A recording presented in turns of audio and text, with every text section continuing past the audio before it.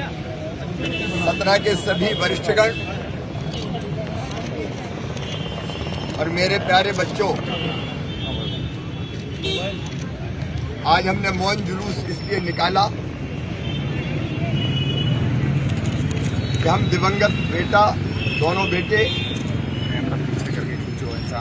श्रेयांश और प्रियांश को अपने श्रद्धा के सुमन अर्पित कर सकें। और भगवान से उनकी दिवंगत आत्मा की शांति की प्रार्थना कर सकें। हम यहाँ कोई राजनीति की बात नहीं करने आए, ना करेंगे। हमारी तीन ही कहना है, तीन बातें हैं, तीन चीज़ें जो हम चाहते और मांगते हैं। नंबर एक, श्रेयांश और प्रियांश के अपहरणकर्ता और हत्यारों को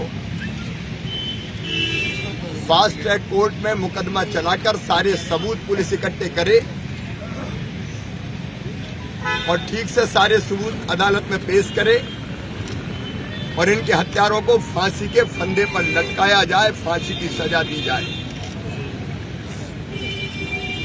दूसरे बारह तेरह दिन में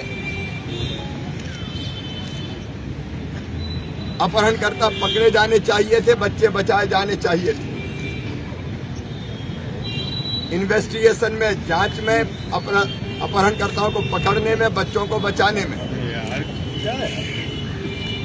जाँच करके जिनकी लापरवाही है, उनको दंडित किया जाए, उनको सजा दी जाए। क्योंकि कहीं ना कहीं लापरवाही है, मैं कोई विस्तार से उस पर बात नहीं करूँगा। और तीसरे, फिर कोई बच्चे मेरे श्रेयांश और प्रियांश ना बने, फिर किसी की माँ को आँसू ना बहाने पड़े, फिर किसी दादी की छाती ना फटे, और फिर किसी परिवार की ज़िंदगी बर्बाद ना हो।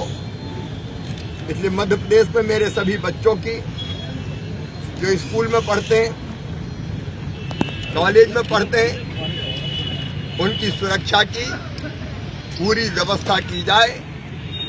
एक ऐसा तंत्र पुलिस प्रशासन के अंदर स्थापित किया जाए, जो बच्चों की सुरक्षा के लिए काम करे और बिना डर के, बिना भय के, बिना आतंक के मेरे बेटे बेटियाँ स्कूल जा सके, कॉलेज जा सके।